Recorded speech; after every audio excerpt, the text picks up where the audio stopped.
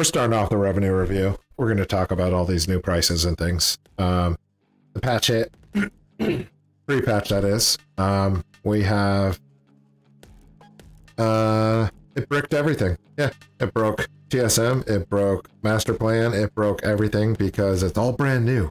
And now we get to experience it in a brand new fashion.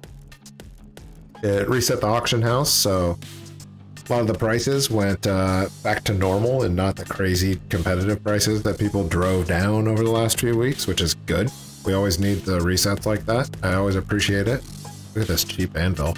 Seven gold? Gains. If you're getting anvils for under 30 gold, you know, it's got 30 charges. So every day you use an anvil, you're using one gold. But if you get it for seven gold, well, it's much less than one gold per day. So I highly recommend it. Um, let's take a look at some of these others. Kyparite is pretty low.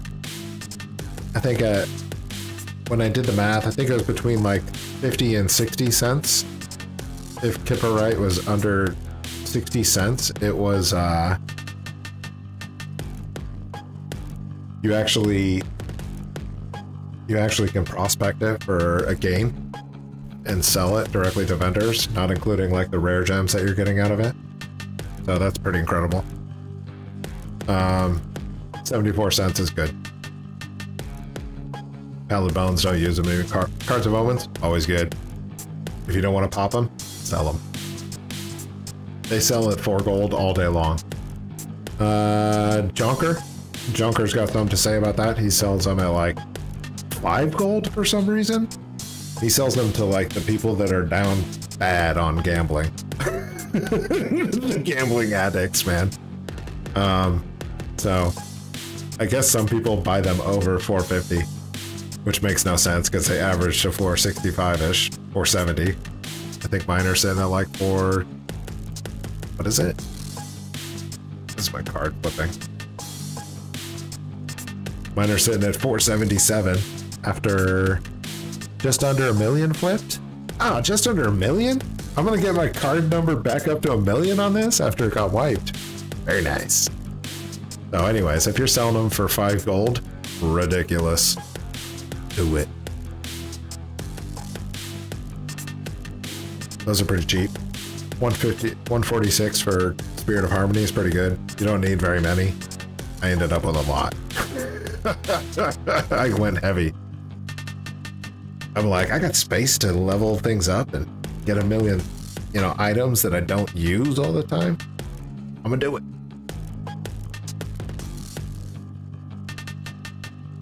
Uh, Living Steel hovers around 550. Used to be a thousand on my server. Sky Golems. Taking a hit. Looks like I haven't stocked back up on that, so... I guess I could do that right now while I'm talking. If this add-on even worked, I guess I'm not going to do that. So, anyways, so that's it for uh, the mounts and stuff. It kind of bounced back just because of the market um, correction due to the patch, bringing down the servers for a whole day. Um, bounce back the prices. Take a look at some of these items here. We got Panther sales coming back. Panther sales are back?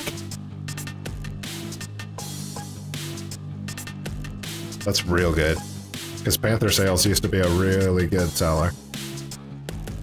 Uh, we got the usual suspects. We got uh, stuff from the mission table, mission table, mission table. This is all profit, right? 2.8k is pretty good. Mekgineer's chopper costs like 12k to make that. So profit of 15.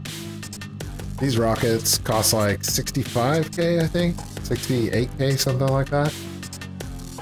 So still making 5k plus profit on those. Those prices used to be, sometimes they're over 100k. Those are good sales. You're making a lot more profit on those big ones, obviously. Sales for more. They cost the same amount. You get more profit. It's not complicated, right? Huge ogre caches, free. Free.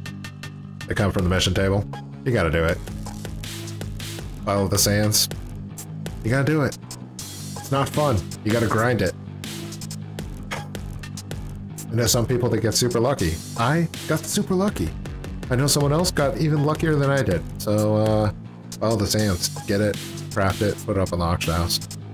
Sky Golems. Everybody's been asking, are Sky Golems gonna not sell anymore? They're gonna sell. There's always gonna be collectors that want the Sky Golems. Also, it's a cool mount. Panthers, bring back those Panthers, I like it.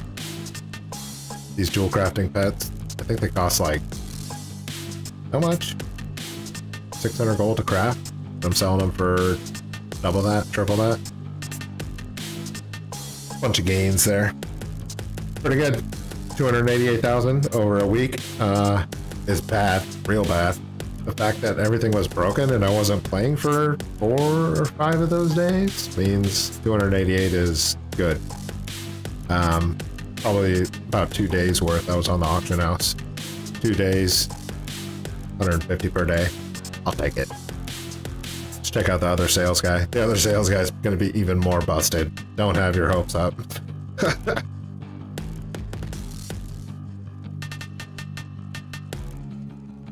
Jumping over. I haven't been doing a lot of these enchantment crafts. These enchantment crafts just took the biggest digger. The biggest digger.